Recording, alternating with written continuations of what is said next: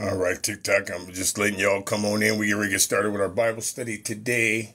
I'm going to get the intro started here so we can get going. Let me make sure my microphone is the right mic because last time, for some reason, I was not being, the microphone wasn't recorded. So let's make sure we test out this mic. Uh, testing, testing, testing, testing, testing, testing. No, I don't want that mic. Testing, testing, testing, testing, testing. Testing, testing, testing. Testing. There we go. All right, so we should be getting started here in a second.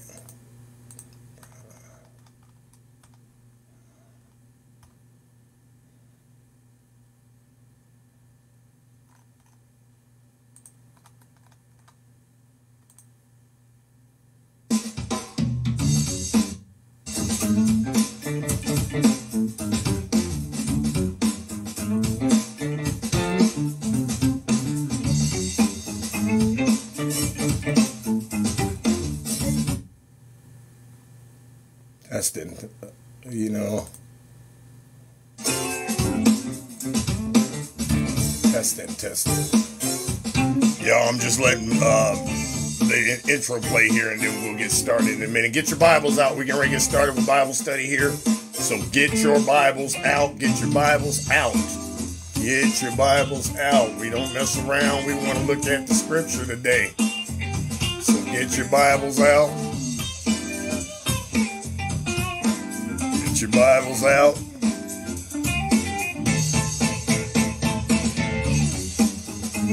Just letting the intro play here and then we'll get started.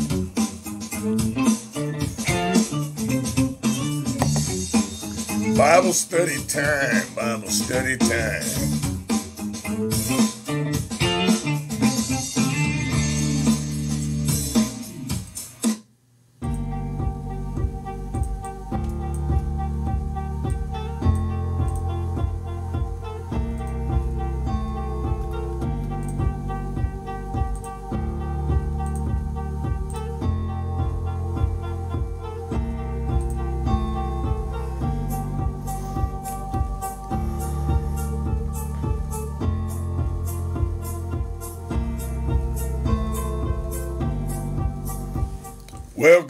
Good morning. Oop, let me get that mic on. Good morning, good morning, good morning, good morning. This is the Minister M.L. Kimble coming to you live today on our broadcast on Word on the Street Talk TV. We're going to get into our Bible study today.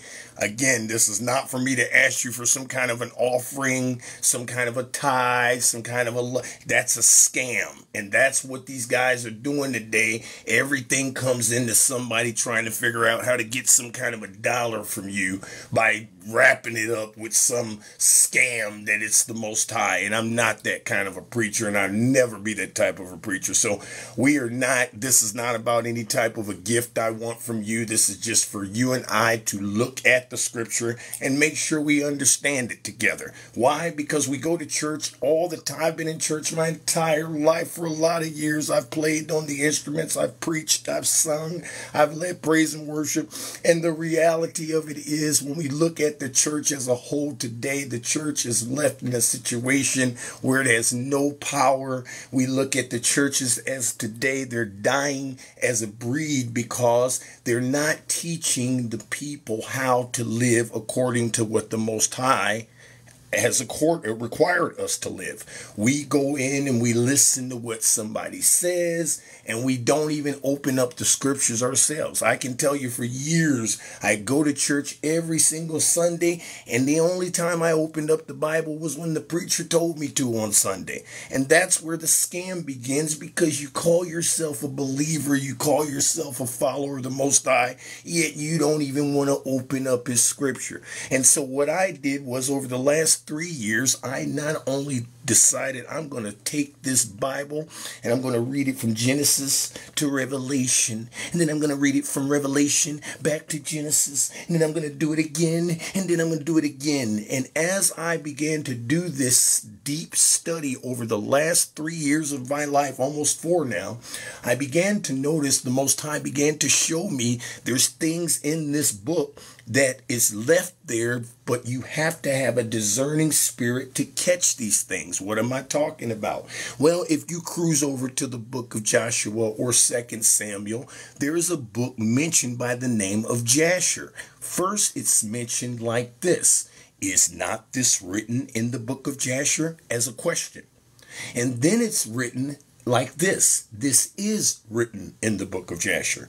But nobody cared to sit down and say, hey, where is the book of Jasher? Don't tell me a scam. Don't tell me what your mommy and daddy said.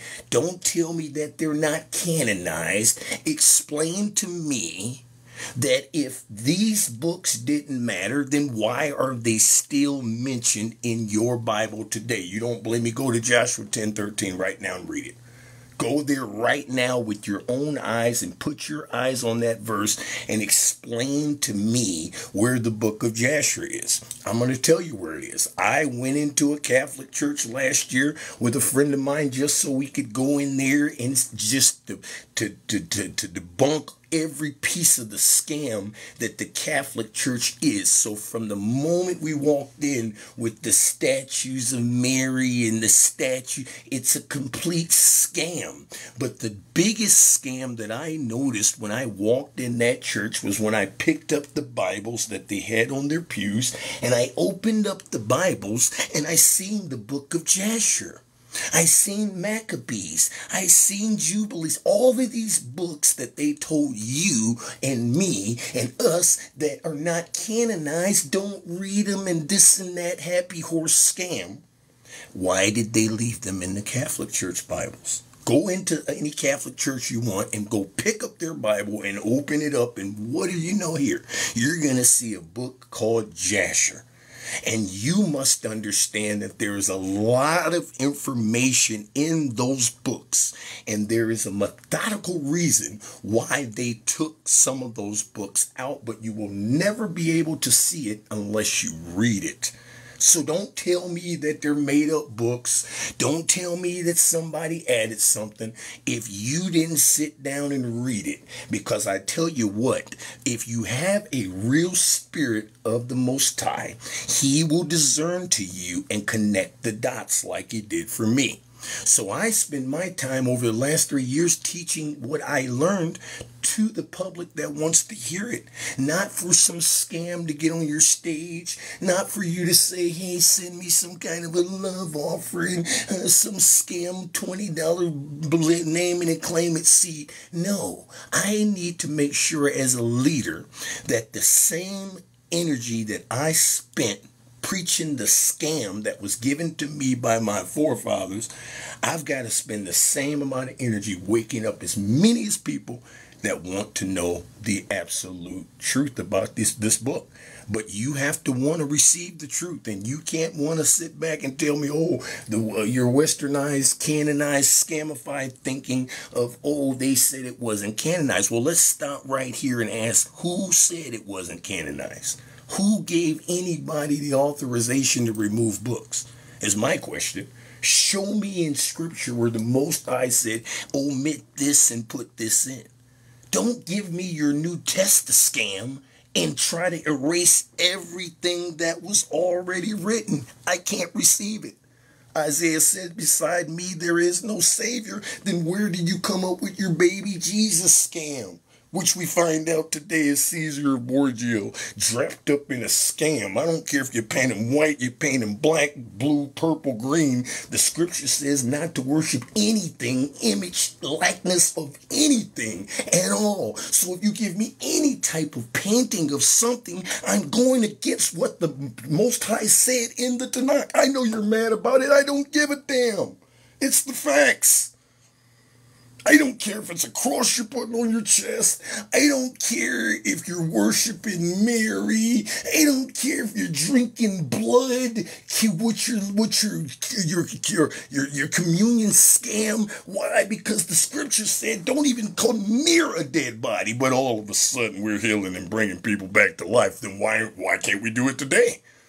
If we have the same spirit that they told us that we had, that matches this so called scam they gave us, that was raising people from the dead, then why isn't any one of these pastors raising people from the dead?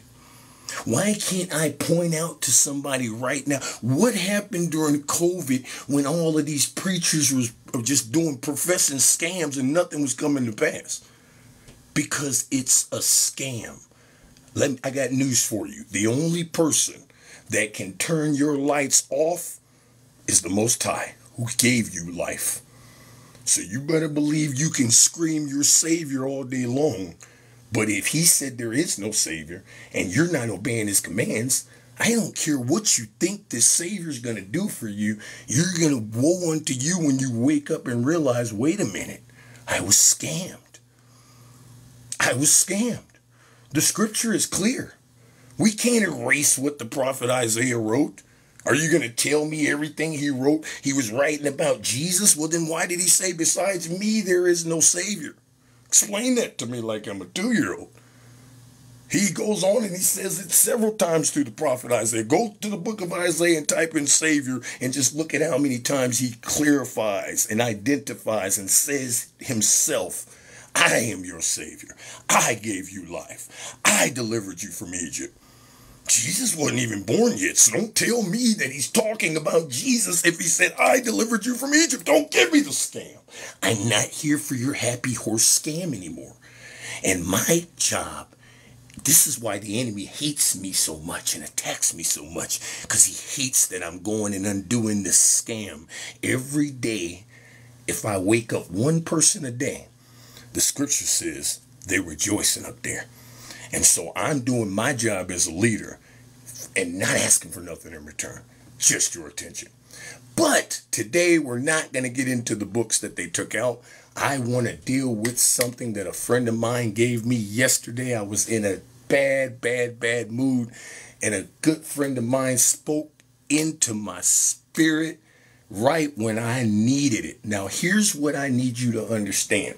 Although I'm a leader and I can recite certain things to people right when they need to hear it, but it's never it, it, when you're in a situation yourself and you don't hear that same assurance from another from somebody else you're relying on this but you're not you you you, you as a leader you feel sometimes you need to have somebody pour into you now the problem is i can't receive from everybody because i know how much i've studied and if you give me any form of a scam, I won't let you in here.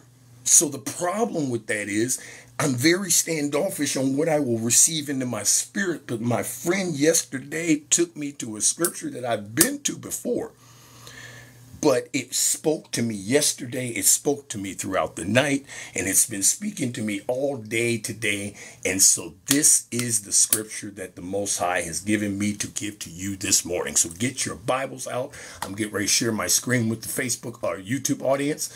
Um, TikTok, unfortunately, you guys, I can't share the screen because I still haven't figured out how to do this thing on. Uh, it won't let me stream it that way online and um, uh, uh, uh StreamYard. So unfortunately, that's just not going to happen. But you guys can hear it. Get your Bible out and you can follow with me. But we're going to get into the book of Psalm. And now, see, what I, in my uh, tenure in church, a lot of times when you hear the book of Psalm, that's where they go to when it's time to dance. That's what I've always heard. I've always been there when it's time to dance when it's time, oh, I bless the Lord at all times. You hear all of the praise and the shout music and all that stuff usually comes out of Psalm somewhere. But what about when you are in a situation yourself and you need the Most High to speak to your spirit? I'm going to the book of Psalm and I'm going to the 35th chapter. Okay? And I'm going to read this step by step, and I'm going to read it line by line, and then I'm going to close this thing out. Please don't forget to like, share, comment, and don't forget to subscribe to the YouTube channel.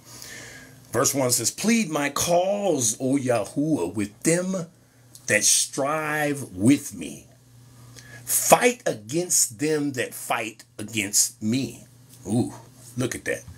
So you must understand that when you are in a battle, Okay? The absolute best person that can get into that battle with you is Yahuwah. So don't get into a battle and forget your number one defense in that battle. And you need to have Yahuwah there because he says, fight against them that fight against me. Can you imagine the Most High fighting against you? See, we forget that it's not always about blessings when Moses said blessings or curses, life or death. Choose this day which way you're going to serve. Obey the commandments, disobey the commandments. You make the choice, is what Moses said. So understand that he will fight against your enemies, but there is a prerequisite for that. See, you don't want to get into a battle and don't have his protection to fight against your enemies. That's the first thing that stood out to me. Verse 2 says, Take hold of shield and buckler and stand up for my help. Oh my goodness. Oh my goodness. Shield and buckler. Ah, take hold of shield. Imagine the Most High with a shield protecting and blocking anything that your oppressor is sending your way. Verse 3 says, Draw out also the spear. Could you imagine the Most High taking a spear out on you and stop the way against them that persecute me? Say unto my soul, I am your Yeshua salvation. Verse 4 says, Let them be confounded and put to shame that seek after my soul. Could you imagine when, when he says, let them be confounded? It puts me in mind of the Tower of Babel when these they were devising to do these terrible things and they were actually trying to reach up to the heavens to fight the most high if you you find all this out in the book of jasher and the books that they took out but you'll never find it in the 66 so i really urge you to get the book of jasher and read it. Get the Apocrypha. I stay in the Sefer. I ain't reading out of nothing else because the Sefer gives me all those books and I know where they belong. So I know about the Tower of Babel. He confounded them because of what they were devising to do. So in verse 4 here, he says, Let them be confounded. So that's your enemies being confounded and put to shame that seek after you. Let them be turned back and brought to confusion that devise my hurt. Your help is in the Most High. Okay? I don't care what it may look like. I don't care what it may sound like. I don't care what may come your way. You must always remember that your help is always in Him.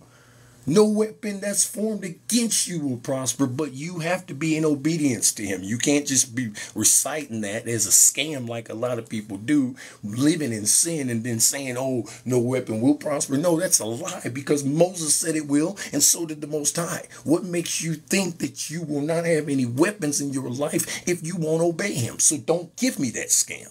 That's why I have so many issues with the church today. It tells you, oh, you can do what you want to do and just repent and say, I'm sorry. Well, repent is a glorified scam because all you're turning around and doing is going back and doing the same thing and saying, I'm sorry again. Eventually, the Most High is saying, okay, listen, I know your lying ass is lying and you've been lying. You're still lying. You're going to lie tomorrow and you're going to lie again and you're going to keep lying. But yet they gave you this scam called repent and that's it.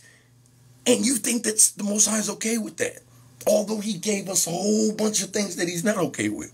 We just somehow skate past it because somebody told you it's the Old Testament. Who did that? Do you think the Most High said separate his book and call this old and that new? Why do you think that happened? Because when they you hear the word old, you think it don't apply no more. Oh, that's old stuff. No. Where did he say that at? That's where the scam begins, is because you can't show me where he said that at. But you want to tell me that. Stop playing these games. Let them be as shaft before the wind and let the angel of Yahuwah chase them. Oh my goodness. Do you know he sends angels after your enemies? When you are in line with him? So understand the prerequisite still remains the same. You don't get all of these benefits if you don't remain in obedience to him. Let their way be dark and slippery, and let the angel of Yahuwah persecute them. Mm. For without cause have they hid for me their net in a pit, which without cause they have dug for my soul. Let destruction come upon him at un unawares, and let his net that he has hid catch himself. Into that very destruction let him fall. And my soul shall be joyful in Yahuwah. It shall rejoice in his salvation. All my bones shall say, Yahuwah, who is like unto you, which delivers the poor from him that is too strong for him? Yea, the poor and the needy from him that spoils him. False witnesses did rise up. They laid to my charge things that I knew not. They rewarded me evil for good to the spoiling of my soul. But as for me, when they were sick, my clothing was sackcloth. How many people have you took care of and bent over backwards for? And you get in a situation, you look up and nobody's there. I humbled my soul with fasting, and my prayer returned into my own bosom. I behaved myself as though he had been my friend or brother. I bowed down heavily as one that mourns for his mother. But in my adversary, adversity, in my adversity, they rejoiced, gathered themselves together. Yea, the abjects gathered themselves together against me, and I knew it not. They did tear me and ceased not. With hypocritical mockers and feasts, they gnashed upon me with their teeth. Adonai, how long will you look on? Rescue my soul from their destructions, my darling, from the lions. Have you ever felt like you in a lion's den? I will give you thanks in the great assembly. You got to come see, here's the prerequisite. See, he's asking for something from him. He's telling him, I know you're going to do all these things, but he also says that I'm going to do something for you in return. So you must understand that you must give him thanks no matter what the situation may look like, no matter how bad it may look. I don't care how it look. You better give him praise. And yesterday the enemy had me in a place to where I didn't even feel like I wanted to praise him the most high i mean he had me in a spot where i was in t- almost i was in tears speechless and i needed somebody to speak into my spirit and my friend spoke right into my spirit and she said, Listen, when you get off the phone with me, I want you to first of all go in prayer right now, cry out to the Most High, and then I want you to read this and get it in your spirit. And then I read it, and then I read it, and then I read it, and then I read it, and I read it throughout the night. And the Most High was speaking to me, and, and, and I had my own plans on what I was going to do in Bible study today. And no, this is what He said to give to His people. So you got to give Him thanks. I will praise you among much people. So you cannot forget that you gotta give him praise. He wants his praise. Bible says he inhabits the praises of his people. So you cannot forget the part where I got life today. If I didn't get up with a million dollars in my bank account, if I didn't get up with a running car, if I didn't have lights or something was wrong financially or something happened in my family, regardless, I woke up with life. So I owe him praise regardless. The Bible also further says, I will bless the Lord at all times. So it's when I'm fat, mad, when I'm hurting, when I'm sad, when I'm up, when I'm down. If you forget that prerequisite, you don't only not get what you're asking him for, but you don't get his protection. You don't get that shield. You don't get those angels. All the things that he said prior to what we just read. You lose all of that. So you've got to give him thanks and praise for what he's already done. Let not them that are in my enemies wrongfully rejoice over me, neither let them wink with the eye that hate me without a cause. For they speak not peace, but they devise deceitful matters against them that are quiet in the land. Yea, they opened their mouth wide against me and said, Aha, aha, or I have seen it. This you have seen, O Adonai, keep not silence, O Yahuwah, be not far from me. Stir up yourselves and wait to my judgment, even unto my cause, my Elohim and my Yahuwah. Judge me, O Yahuwah, according to your righteousness, and let them not rejoice over me. Let them not say in their hearts, Ah, so would we have it. Let them not say we have swallowed him up. Let them be ashamed and brought to confusion together that rejoice at my hurt. Let them be clothed with the shame and dishonor that magnify themselves against me. Let them shout for joy and be glad that favor, that favor my righteous cause. Yea, let them say continually, let Yahuwah be magnified, which has pleasure in the prosperity of his servant. And my tongue shall speak of your righteousness and of your praise all day long. So again, you must realize that there is a prerequisite when you go to the Most High expecting Him to do anything. I don't care if you want Him to deliver your finances. I don't care if you want Him to deliver your, your personal relationships. I don't care if you want him to deliver your job situation. I don't care whatever the case may be if you don't always remember that I still better give him day just for every little thing he does. Anything, daily bread. See, when the children of Israel were out there in the in the wilderness, he provided them manna, which was all the nutrients that they needed, and they still wanted something fried. No, we want some crab leg. No, I want some ham.